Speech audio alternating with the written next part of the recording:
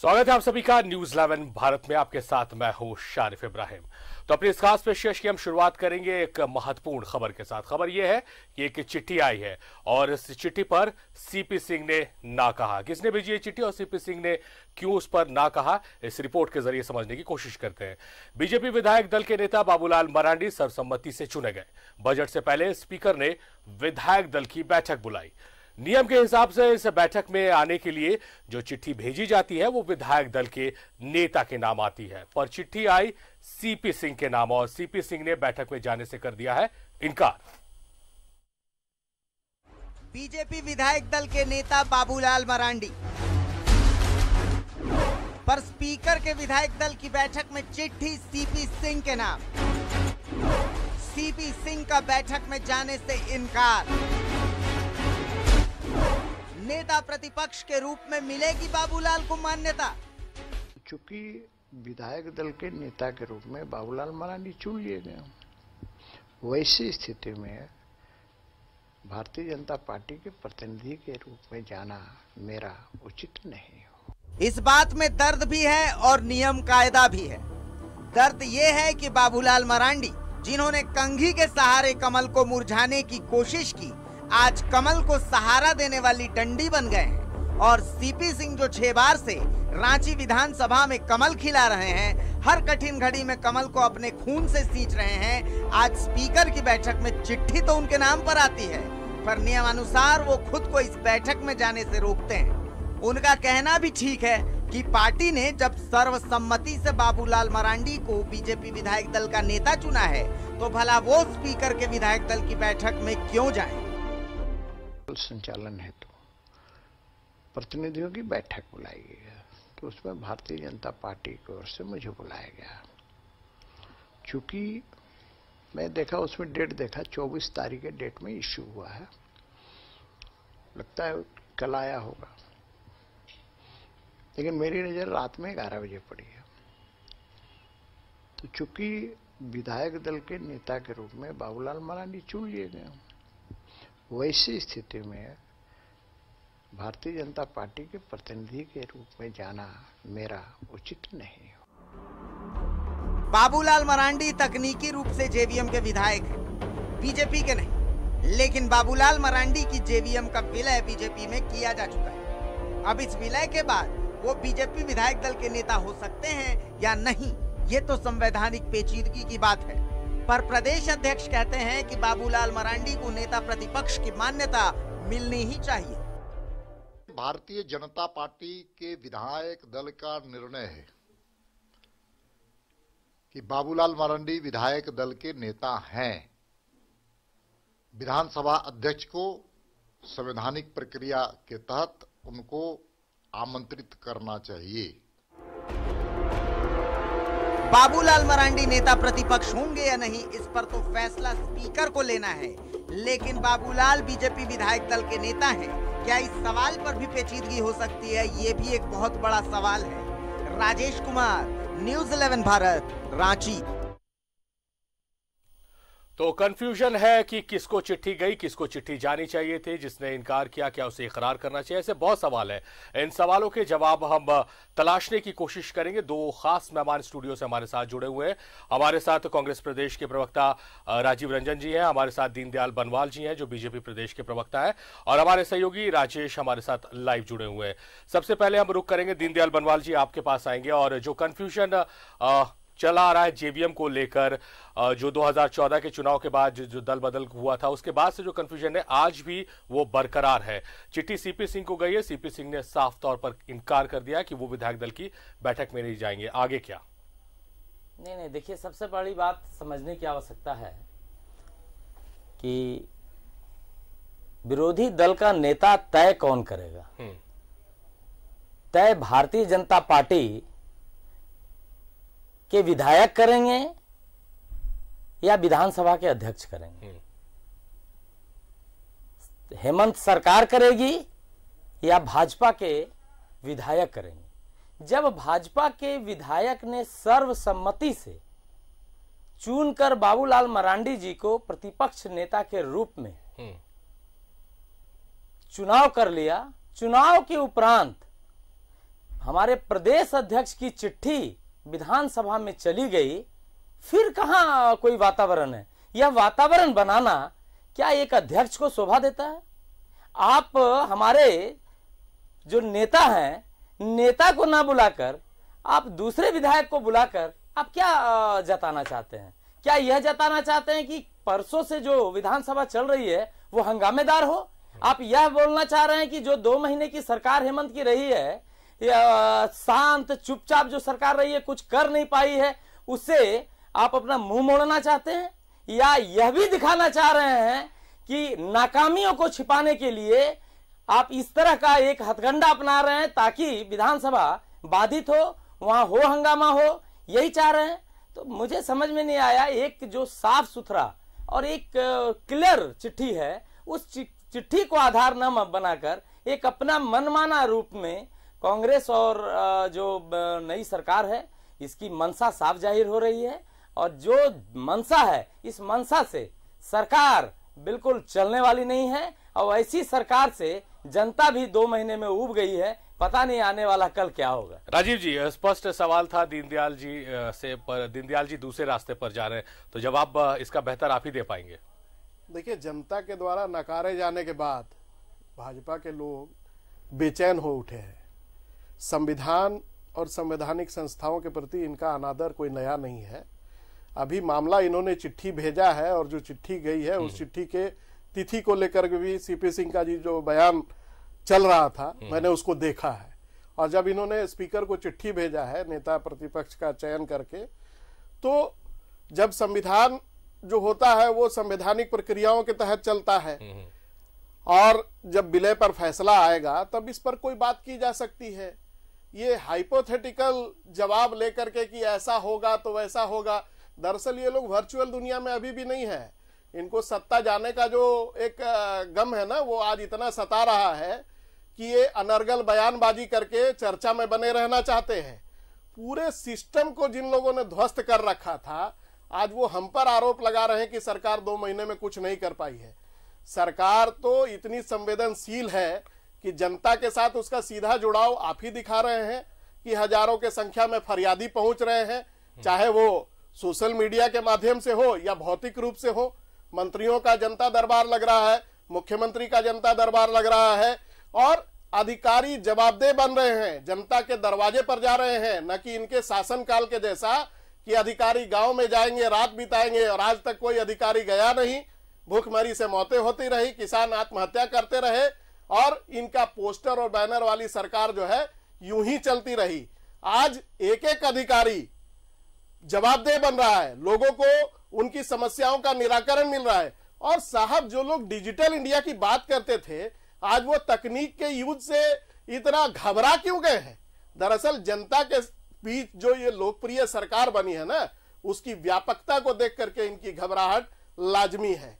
तो संविधान संविधान के दायरे में चलता है। संविधान आपके अनर्गल बयानबाजी से नहीं चलता है। राजीव जी आरोप प्रत्यारोप पे आएँगे। दीनदयाल जी जिस तरह से विलय की बात की विलय को लेकर भी बहुत कंफ्यूजन है जो राजनीति की जरा कम समझ रखते हैं उन्हें लग रहा है कि दो विलय हुआ है। जेवीएम का एक कांग्रेस में हुआ और एक बीजेपी देखिए में देखिए दल अ, को, कोई भी संगठन विलय करता है विधायक विलय नहीं करता। हम्म। और आपने देखा होगा कि संगठन में जो दो विधायक थे पहले ही उनको सस्पेंड किया जा चुका है। हम्म। और पूरी की पूरी संगठन यहाँ विलय हुआ है। इसमें कहा कोई आश्चर्य है और कहा कोई बात है? अब हमारे मित्र कांग्रेस के मित्र चूँकि आप जान रहे हैं कि कुछ कर नहीं पा रहे हैं काम भी नहीं कर पा रहे हैं काम करने भी नहीं दिया जा रहा है और करना की इच्छा भी नहीं है। नहीं, काम पे तो आएँगे। बार बार- जी, बार काम पे बार- आएँगे, काम पे बार बार वो बाधित कर रहे हैं। आज आज आप बताइए कीजिए। चाईबासा में सात की मौत पर इन्होंने क्या किया? आरोप पे आरोप दीनदयाल जी आरोप पे आएँगे। राजीव जी जिस जिस तरह से एक, जो बातें हो रही हैं कि विलय को लेकर बातें हो रही हैं और जो जेवीएम के छह विधायकों का दल बदल का मामला चला था उस पर जो तत्कालीन जो स्पीकर थे दिनेश उरांव उनका जो फैसला आया था शायद उसको भूल गया है दीनदयाल जी। क्या उससे आप इतफाक रखते हैं? अगर उसको भी देखा जाए तो ये कहना अभी फ़िलहाल गलत होगा। देखिए भाजपा की यही बीमारी है। पर उपदेश कुशल बहुतेरे के तर्ज पर राजनीति सदैव करते चले आए हैं। तो जब आप उंगलियाँ दूसरों की तरफ़ उठा रहे हैं तो तीन उंगलियाँ आपके ऊपर इशारा कर रही हैं और ये वही बाबूलाल मरांडी जी हैं। हालाँकि भाजपा कंफ्यूज है क्योंकि यही दीनदयाल बनवाल जी थे जो चैनलों में चीख चीख कर चिल्लाते थे कि बाबूलाल मरांडी जी तो- फ्यूज वो- बल्ब वो तो आप भी आप आप भी फ्यूज जब हेमंत से सरकार आप जब बोल रहे थे आप जब बोल रहे थे मैं आपकी बारी आएगी। आराम से एक इंटेलेक्चुअल डिस्कशन में है, बेचैनी आपकी मैं समझ रहा हूँ परंतु कि आपकी दुखी पर्सनलाइज मत कीजिए। दुस- दुखती रथ पे आपका मैंने हाथ रख दिया तो आप बिल गए। आपने आप आपने संयम से सुनने का काम आपने टीवी पर कभी संयम बोला से सुनने का था। का- काम आपने कभी बोला था। संयम से सुनने का काम कीजिए दीनदयाल जी। सुनने का तो आप बोलने का तो संयम रखिए। विपक्ष में आए हैं सुनने का मादा रखिए। तो आराम से है, सरकार आपने चलाया है साल। अरे तो सरकार हम चला रहे हैं। सरकार बखूबी चल रही है। हम विपक्ष में क्यों? बिल्कुल बिल्कुल। जनता को कभी मलाल नहीं है। जनता की तो ताकत और संवैधानिक लड़ाई लड़ी साहब। और आने वाला कल में लड़ाई लड़ेगी। लड़ाई लड़ाई लड़ाई कैसे होगी दीनदयाल जी? दीनदयाल जी लड़ाई कैसे होगी? लड़ाई लड़ी है और लड़ेगी। आप- अच्छी बात हम भी चाहते आपने- हैं। आपने साठ साल सत्ता चलाया। आपकी सत्ता गई तो आप छिलमिलाहट हुआ। इनको पानी दीजिए, तो- गिलास दीनदयाल जी दीनदयाल जी दीनदयाल जी दीनदयाल जी कैसे कैसे लड़ाई होगी? दीनदयाल जी कैसे कैसे लड़ाई होगी? विधायक दल की जो बैठक है विधायक दल के नेता भी नहीं माने जा रहे जो चिट्ठी आई उसे तो हम यही कह सकते हैं सीपी सिंह इनकार कर रहे हैं। तो किस तरह से सरकार को आप घेरेंगे? बिना नेतृत्व के जाएँगे क्या? मेरे से जी हाँ सदन में।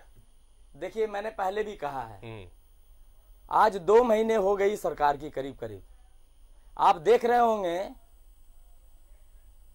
सड़क पे काम तो छोड़ दीजिए इन्होंने मंत्री परिषद की बैठक कई को बुलाई है। आप देखिए अंदाज़ा लगेगा आपको काम का अंदाज़ा लगेगा। वो ठीक है कि आप दिखाना नहीं चाहते हैं उनकी कमियों को ये अलग विषय हो सकता है। लेकिन आप देखिए तो मंत्री परिषद की। बैठक तक ये नहीं कर पा रहे हैं। इनके मंत्री परिषद की। बैठक तक नहीं तो कर पा रहे हो। तो आप देखिए क्या है। देखिए क्या है। अभी देखिए अभी देखिए जैसे ही ये बात आई इसी तरह से जैसे है। अभी दो महीने हुए हैं। पचास पचास लगेगा। यही कांग्रेस है। यही कांग्रेस है। काम किया कि है। मधु कोड़ा को खड़ा करके कोड़ा की इस राज्य को चार हज़ार करोड़ यही लुटवाया यही कांग्रेस है। चीख रहे आज भी दसवीं आज भी यही सोच रहे हैं। विधायकों को चुरा कर नहीं चलेगा। ये सब नहीं चलने जनता वाला दीनदयाल जी देखेगा। राजीव जी आपके पास आएँगे। हमारे सहयोगी राजेश भी हमारे साथ जुड़े हुए हैं। हो। उनका रुख करेंगे। इनकी दीनदयाल जी राजेश जी से भी हम बात करेंगे उनसे भी समझने की कोशिश करें। राजेश जी जिस तरह से जो कंफ्यूजन यहाँ पर देखने को मिल रहा है चिट्ठी गई है सीपी सिंह के पास सीपी सिंह ने बैठक में जाने से इनकार कर दिया है। हालाँकि जो विधायक स्पीकर है उनके पास ये मामला है।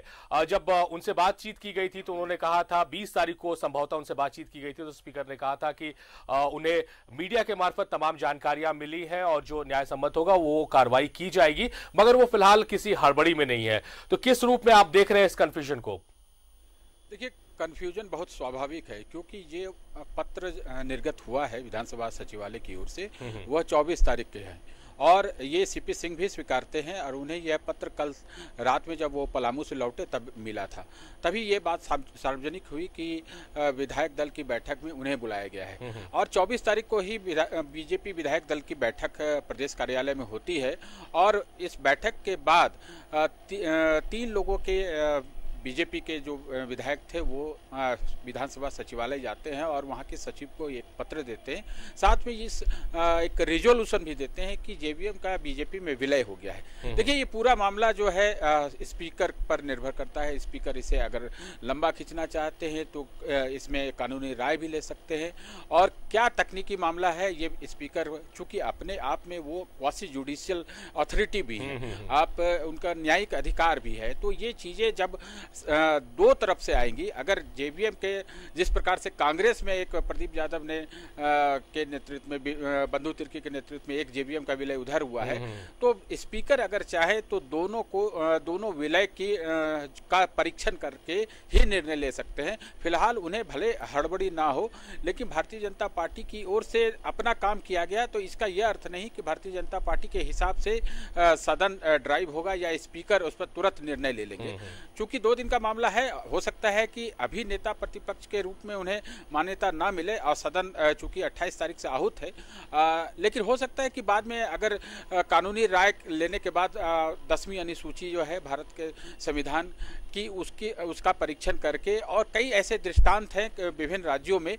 जिस प्रकार से आपने देखा है कि जेवीएम के छह विधायकों का जो विलय हुआ था बीजेपी में पिछली सरकार में उस पर असम हाई कोर्ट के आदेश को आधार मान के उसको वैलिडेट किया गया था यानी वैध माना गया था।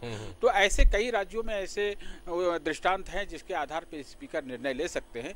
स्पीकर पर ये पूरा निर्भर करता है वो ज़रूर कानूनी राय लेंगे और दोनों दलों के जो अपने अपने हैं कि जेवीएम का कांग्रेस में विलय हुआ और एक जेवीएम का इसमें विलय हुआ। इसको तकनीकी तौर पर परीक्षण कर सकते हैं लेकिन मामला पेचीदा है। निश्चित रूप से कल की जो बैठक होगी जिस प्रकार से सीपी सिंह ने कहा है कि उनकी पार्टी की बैठक हुई और बाबूलाल मरांडी विधायक दल के नेता चुने गए हैं तो वो इसमें कदापि नहीं जा सकते और उन्हें परमिशन भी नहीं मिलेगा कि वो जाए क्योंकि पार्टी में उन्होंने सूचना दे दी है कि ऐसे ऐसे पत्र मुझे मिला है और मैं इसमें नहीं जाऊँगा और पार्टी आगे निर्णय ले। तो इस बाबत पत्र उन्होंने दिया विधानसभा को भी एक पत्र उन्होंने दिया है कि वो इस बैठक में शामिल नहीं हो सकते। अब देखना होगा कल का दिन साढ़े बारह बजे बैठक बुलाई गई है विधायक दल की। तो अब उस, उस, उसमें बीजेपी की तरफ़ से कौन जाते हैं? क्योंकि बाबूलाल मरांडी के नाम पत्र अभी तक निर्गत नहीं हुआ है तो ऐसे में ये संशय की स्थिति है कि बीजेपी जो सबसे बड़ी पार्टी है विपक्ष में उसकी ओर से कौन प्रतिनिधित्व करता है? इसके तौर पर कल का इंतज़ार करना होगा राजेश जी। वापस स्टूडियो में हमारे गेस्ट हैं उनसे मुखातिब होते हैं। राजीव जी, जिस तरह से जो बात हो रही थी, राजेश जी ने उस बात का ज़िक्र किया है।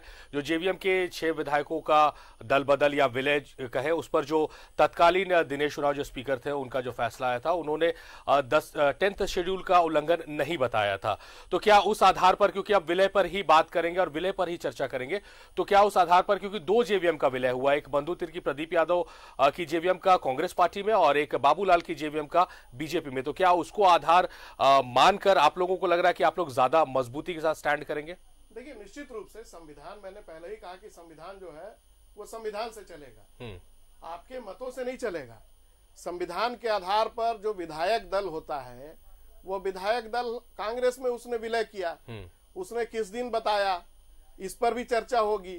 और अभी तो स्पीकर के ऑफ़िस में मामला गया है अभी उस पर कोई फैसला आया नहीं है। और भाजपा जो लगी रिरियाने ये कहाँ का खेल है भैया? अपने हिसाब से आपने पिछले बार पूरे पाँच साल तक इसी दसवीं अनुसूची के मामले को उलझाए रखा। तो आपके हिसाब से संविधान नहीं ना चलेगा। देश संविधान से चलता है और संविधान का आदर करना सीखिए। दीनदयाल जी आपसे भी यही सवाल रहेगा जो राजीव जी से मैंने किया कि जिस तरह से जो तत्कालीन स्पीकर ने जो फैसला सुनाया था उस हिसाब से किसका वैध माना जाएगा? ज़्यादा मजबूती के साथ तो बंधु तिर्की और प्रदीप यादव वाला विलय वहाँ स्टैंड करेगा। देखिए दोनों में अंतर है। विधायक का कहीं जाना और पूरा पार्टी को कहीं विलय करना। ये दोनों बिल्कुल डिफरेंस है आप इसको डिफरेंसेस के हिसाब से देखिए। जब कोई पार्टी पार्टी से विधायक बनता है ना कि विधायक से पार्टी बनता है और जब पार्टी से विधायक बना और उस दोनों विधायक जब सस्पेंडेड है और दोनों और उसके बाद पूरी पार्टी जब किसी पार्टी में विलय कर गया तो सवाल फिर नहीं बनता। आप जरा देखिए और जब चौबीस छब्बीसों विधायक मिलके पच्चीस और एक छब्बीस छब्बीसों विधायक मिलके जब पत्र दे दिया कि हमारे, और हमारे अध्यक्ष ने पत्र दे दिया कि हमारे विधायक दल के नेता बाबूलाल मरांडी जी हैं, फिर कहाँ सवाल है? सवाल तो तब होती जब इसमें कोई दूसरी अड़चन आती। यहाँ तो अड़चन है ही नहीं। साहब 25 मेरे हैं।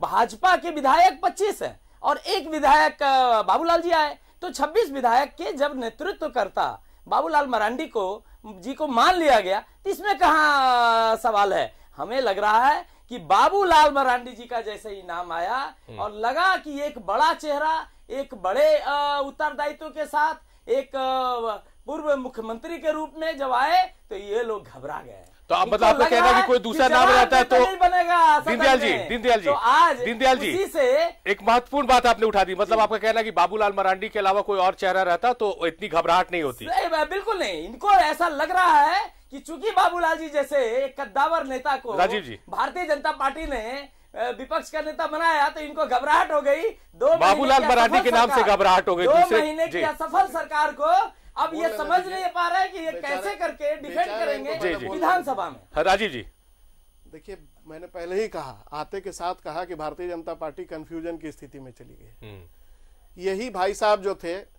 हर चैनल में बाबूलाल मरांडी जी को आज कद्दावर बता रहे हैं मैं धन्यवाद देता हूँ। हम लोग तो उनका सम्मान करते हैं। लेकिन यही वो शख्स हैं जो बार बार उनको फ्यूजबल बताते थे। अरे कल तो आप कौन सा भी बच्चा बोलते कल से कल से उनका फिलामेंट बता रहे हैं। कौन सा फिलामेंट बदल दिया जिससे इस राज्य को रोशन कर लेंगे? ये तो भाजपा का कंफ्यूजन दूर हो जाएगा। ये तो जनता देख रही है। जो जनता जनता के द्वारा नकारे हुए और ठुकराए हुए लोगों का विजन है। बातों में आने वाली है। जनता जनता को जो आना था जनता ने फैसला सुना दिया। जनता ने आपके चीखने से वो फैसला बदलेगा नहीं चौबीस को हम काम कर रहे हैं।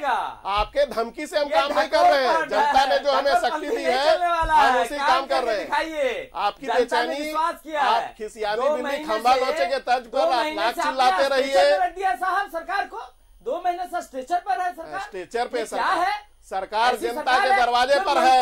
अधिकारी जवाब जवाबदेह बन चुका है। ये खोती बयानबाजी करना बंद कीजिए। आज जितने घोटाले इनके राज्य में हुए सब रही है। सब अधिकारी नप रहे हैं। इनकी भ्रष्टाचार पर जो ज़ीरो टॉलरेंस का झूठा दावा था वो पकड़ में आ रहा था। तो इसीलिए इनकी इसकी अच्छा दीनदयाल जी आप आप आप आप कह रहे आप कह रहे स्टेशन पर सरकार आ लगे कोई काम नहीं। और आज ही का ज़िक्र करते पुरानी बातें नहीं करते। आज एसीबी ने ताबड़तोड़ छापेमारी। आप बताइए कि क्या एसीबी एसीबी एक चुनी हुई सरकार जो गाँव की सरकार या छोटी सरकार बोला जाता है उस सरकार को क्या इस तरह से जा, जाके आप छापेमारी करेंगे? कोई मुद्दा था क्या? बिल्कुल। कोई मुद्दा था? और वह भी देखिए वह भी देखिए भाजपा का जहाँ पे आ रही है भ्रष्टाचार क्यों नहीं? नगर निगम में क्यों भ्रष्टाचार में डूबा हुआ है सब जानती है। और जो है अपने बेटे के नाम पर ठेकेदारी देने के लिए ड्राफ्ट बनवाने का मामला भी चल रहा है अदालत में। अब सब जाँच हो रहा है। अच्छा, जाँच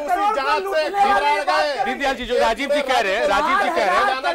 जो मेयर ने भी कहा दिव्याल जी जो मेयर ने भी कहा मेयर ने भी कहा दीनदयाल जी एक महत्वपूर्ण चीज़ जो राजीव राजीव राजीव जी जो कह रहे राजीव जी जो कह रहे जो आपने कहा कही बात और मेयर ने भी इस बात को कहा कि एसीबी कोई छापेमारी को उनको पहले से सूचना नहीं दी गई थी। तो क्या ऐसा तो प्रोसेस होता है क्या? क्या कल नहीं हम ये पूछना चाहते हैं हम ये पूछना चाहते हैं राजीव जी से जैसे एक नगर निगम की सरकार है जैसे राज्य की सरकार है वैसे केंद्र की सरकार कल क्या केंद्र सरकार आके सारा जगह छापामारी करे राज्य में? क्या इनको अच्छा लगेगा? किसके क्या बात है? है। आप किसी ढांचा को बर्बाद नहीं कर सकते अरे जो पूरा देश के संविधान और संवैधानिक संस्थाओं को बर्बाद कर दिया। वो संविधान की बात कर रहा है हमसे। बस कांग्रेस का यही यही चीज़ है। ये दोहरा दोहरा जी जो सूचना की बात कर रहे हैं नगर विकास विभाग को तो सूचना दी गई थी विभाग को। पूरा तरह से तो सूचित चीफ सेक्रेटरी का ऑर्डर आया। और क्या जाँच करने के लिए इनसे परमिशन लेके जाएगा बाकी जगह क्यों नहीं? बाकी जगह क्यों नहीं? सूचना की बात करें सूचना तो दी गई विभाग रही है। नहीं नगर विभाग विभाग विभाग नगर विकास देखिए आपके चैनल से मैं बोल रहा हूँ हम्म। पदाधिकारी जिस तरह से आज इनके पार्टी के होकर अरे आप तो पार्टी तो एसीबी को पंगु बना के रख दिया था। नहीं चलेगा। एसीबी को पंगु बना के रख दिया था। और ये जान रही तो है तो कहा है भाजपा के भ्रष्टाचार की कलाई खुलेगी। सारे राजीव जी। पकड़े जाएँगे। अरे देखिए जाँच अभी होगा। एक एक लोग राजीव जी राजीव जी जिस तरह से जिस तरह से जो तेवर दीनदयाल जी का देखने को मिल रहा है। बजट सत्र शुरू होने वाला क्या आपको लग रहा है कि सत्र सुचारू रूप से चल पाएगा? क्योंकि जो मुद्दे उठ रहे हैं और अब एक नया विवाद खड़ा हो गया है विधायक दल के। देखिए कोई विवाद नहीं है। अभी स्पीकर का फैसला आया है क्या? मैंने पहले ही हाइपोथेटिकल क्वेश्चन का जवाब देने का कौन बैठा है स्पीकर का फैसला का मुद्दा कहाँ है स्पीकर मुद्दा कैसे नहीं है? उसके पास संविधान आपको मानना है? आपका ज़बरदस्ती है क्या? वो चुनाव जीतता क्या आज से आप ज़बरदस्ती आपके कहने से मान लेगा क्या? पहले ये बताया कि झाबीमो का कितने बार इन्होंने विलय कराया मुझे मुझे पहले कितने बार विलय कराया इस बात को क्लियर कीजिए। क्या तो स्पीकर तो अभी यही मान के चल रहे ना जो नतीजे आए हैं। जो नतीजे आए हैं जो जो चुनावी नतीजे आए उसे मानकर स्पीकर चल रहे हैं संविधान से पूछिए तो कांग्रेस कहीं बेचैन नहीं है भाजपा में क्यों बेचैनी है जिसके पास नेताओं का अकाल था विधायक दल का नेता बना रहे हैं। तक जिसको आप फ्यूज बल बता रहे थे जिसको बच्चा बोलते थे, उसको अच्छा अच्छा दीनदयाल जी एक चीज़ बताइए कि स्पीकर अभी तक जो चुनावी नतीजे आए हैं उसी को मानकर चल रहे हैं उसी के आधार पर आज ये पत्र जारी किया गया है। बाबूलाल मरांडी और प्रदीप यादव और बंधु तिर्की को जेवीएम का विधायक माना जा रहा है। उन्होंने कहा है कि वो संविधान विशेषज्ञों से राय लेंगे। सस्पेंड विधायक को आप कैसे मान रहे हम्म। हैं जब दल ने उनको सस्पेंड कर दिया है तो आप कैसे मानेंगे? तो आप कैसे मान लिए थे छह विधायक को? लेकिन आप कैसे मान लिए थे? इसका जवाब दीजिए आप चैनल पे। भाई जी मैं उस जाँच की जनता कैसे आपने मान लिया? मैं इस जेवीएम यही बाबूलाल मरांडी ने उनको पहले ही सस्पेंड कर दिया था। ज़बरदस्ती है क्या? है? तो ज़बरदस्ती? करिए। हम किसको नेता चुनेंगे आप कांग्रेस से पूछ के दीनदयाल जी जो बात बताइए। नहीं जो बात जो आप आप आप आप कह रहे हो आप कह रहे आप कह रहे निष्कासित विधायक थे। निष्कासन तो उन छह विधायकों का भी हुआ था जिन्होंने पार्टी का दामन थामा था बीजेपी का। देखिए वो एक तो जेवीएम फैसला का विलय लेना आप लोग कैसे मान रहे थे? दोनों में अंतर है। हाँ। वो एक फैसला लेना था और हमने अपनी फैसला आपको जाकर रखा है। ये दोनों में अंतर है। ये भाजपा ने अपना फैसला रखा की हमने नेता चुना है। इसमें आपसे पूछने की आवश्यकता नहीं है। ये हमने फैसला लिया है और वहाँ एक फैसला देना नहीं था नहीं दोनों में डिफरेंस नहीं नहीं आप आप आप कंफ्यूज हो रहे हैं। दीनदयाल जी आपने एक फैसला लिया। आपके फैसले को स्पीकर नहीं मान रहे स्पीकर अभी भी जेवीएम के विधायक मानने का सवाल ही नहीं है। हमने जब फैसला लिया कि हमको किसको नेता बनाना है तो इसमें स्पीकर महोदय को सिर्फ़ सहमति देना है। वहाँ पे कोई फैसला नहीं लेना है। ये एकदम स्पष्ट है और ये संवैधानिक है। आप देख लीजिए बिना संवैधानिक प्रक्रिया का भारतीय जनता पार्टी ने कोई कदम नहीं बढ़ाया है। पूरी संवैधानिक आज भले ही ये टीवी में चिल्ला ले देख लीजिएगा दो दिन बाद दो दिन बाद यही संवैधानिक प्रक्रिया के तहत तहत अध्यक्ष महोदय को निर्णय देना देना होगा। राजेश जी हमारे साथ लगातार जुड़ रहे हैं। राजेश जी आप भी डिबेट को सुन रहे होंगे। जिस तरह से जो अभी हम चर्चा कर रहे हैं कि स्पीकर चुनावी नतीजे जो आए उसी को अभी तक फ़िलहाल वक्त मान रहे हैं। तो क्या माना जाए कि आने वाले दिनों में ये जो कन्फ्यूज़न है और बढ़ेगा? और जो पाँच साल तक पूर्व में जो पाँच साल तक दल बदल और विलय को लेकर जो चर्चाएँ होती रही झारखंड की सियासत में वो लगातार जारी रहेगी? देखिए ये अ, इस बात पर निर्भर करता है कि स्पीकर इस पर कितना जल्दी निर्णय लेते हैं। स्पीकर पर सारा कुछ निर्भर करता है।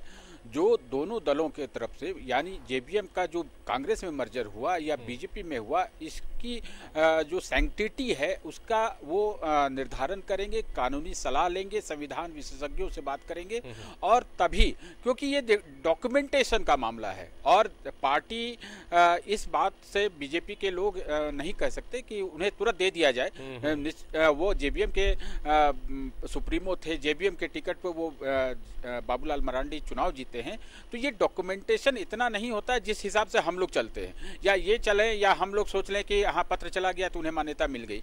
ऐसा नहीं है बल्कि इस पर लीगली कोई एडवाइस लेने की ज़रूरत है और स्पीकर लेंगे भी और भले इसमें जितना समय लग जाए, अगर लिंगर करने की कोशिश होती है, ये कैसे होती है? दोनों पक्ष अगर आपस में लग जाए दोनों इसको खींचना चाहे, तभी कहता है ये लिंगर होगा? नहीं तो स्पीकर अपने आप में सक्षम है कि क्या निर्णय लें। वो बाबूलाल मरांडी को नेता प्रतिपक्ष के तौर पर मान्यता देते हैं या नहीं? ऐसे बीजेपी का जो स्टैंड है कि वो किसी को भी अपना नेता मान सकता है तो ये बिल्कुल स्पष्ट है। किसी को भी वो मान सकता है कि ये हमें अ, हमारे नेता होंगे। सदन में ने, नेतृत्व करना है।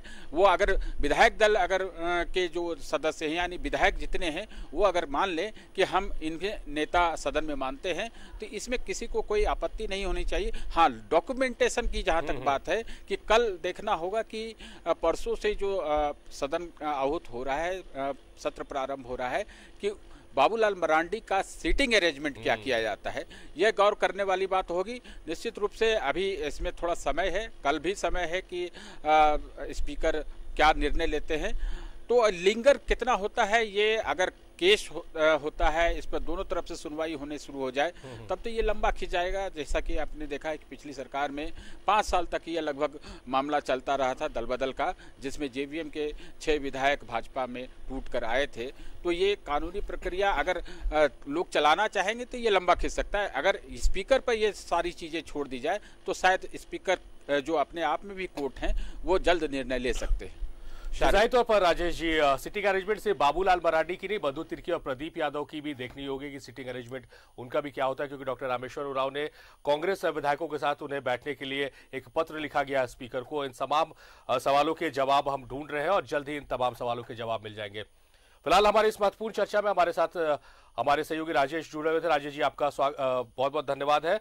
राजीव जी, आपका भी बहुत बहुत धन्यवाद। दीनदयाल जी, आपका भी बहुत बहुत धन्यवाद। लगातार आप इस महत्वपूर्ण चर्चा में हमारे साथ बने रहे।